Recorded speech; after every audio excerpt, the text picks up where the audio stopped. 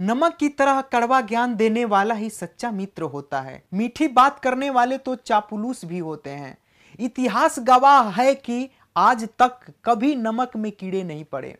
और मिठाई में तो अक्सर कीड़े पड़ जाते हैं। अच्छे मार्ग पर कोई व्यक्ति नहीं जाता, पर बुरे मार्ग पर सभी जाते हैं। इसीलिए दारू बेचने वाला कहीं नहीं जाता, पर दूध बेचने वाले को गली गली और कोने कोने घर घर जाना पड़ता है। और दूध वाले से बार बार पूछा जाता है कि पानी तो नहीं डाला, पर दारू में खुद हाथों से पानी मिला करके पीते हैं। वाह रे दुनिया और दुनिया की रीत। जो भाग्य में है, वो भाग कर आएगा।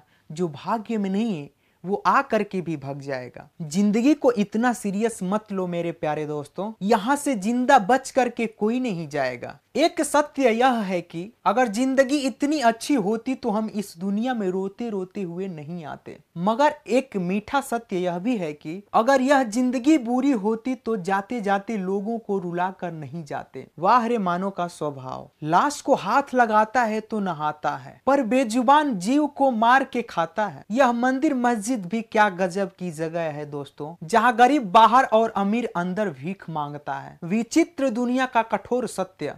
बारात में दुल्हे सबसे पीछे और दुनिया आगे चलती है। मयत में जनाजा आगे और दुनिया पीछे चलती है। यानी दुनिया खुशी में आगे और दुख में पीछे हो जाती है। अजब तेरी दुनिया, गजब तेरा खेल। मोमबत्ती जलाकर मुर्दों को याद करना। और मोमबत्ती बुझाकर जन्मदिन मनाना। नई सदी से मिल रही है दर्द भरी सौगात।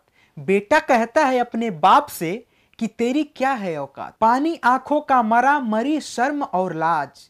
कहे बहु, अब सास से घर में मेरा राज। भाई भी करता नहीं, भाई पर विश्वास। बहन पराई हो गई और साली हुई खासम खास। मंदिर में पूजा करे, घर में करे कलेश। बापू तो बोझ लगे, पत्थर लगे गणेश। बच्चे कहाँ अवशेष हैं? दया धर्म ईमान। पत्थर के भगवान हैं, पत्थर दिल इंसान। पत्थर के भगवान को लगते छप्पन भोग। मर जाते फुटपाथ पर भूखे प्यासे लोग। पहन मुखौटा धर्म का, करते दिन भर पाप। भंडारा करते फिरे और घर में भूखा बाप। तो दोस्तों, ये है हमारी दुनिया की रिवाज। दोस्तों, अगर मेरी वीडियो आप सभी को पसंद आई हो तो आप लोग आगे भी शेयर करिए ताकि और भी इंसानों को सुन करके कुछ ना कुछ तो सीख मिल ही जाएगी। दोस्तों, अगर मेरी वीडियो आप सभी को पसंद आई हो तो इसे शेयर करना ना भूलिए।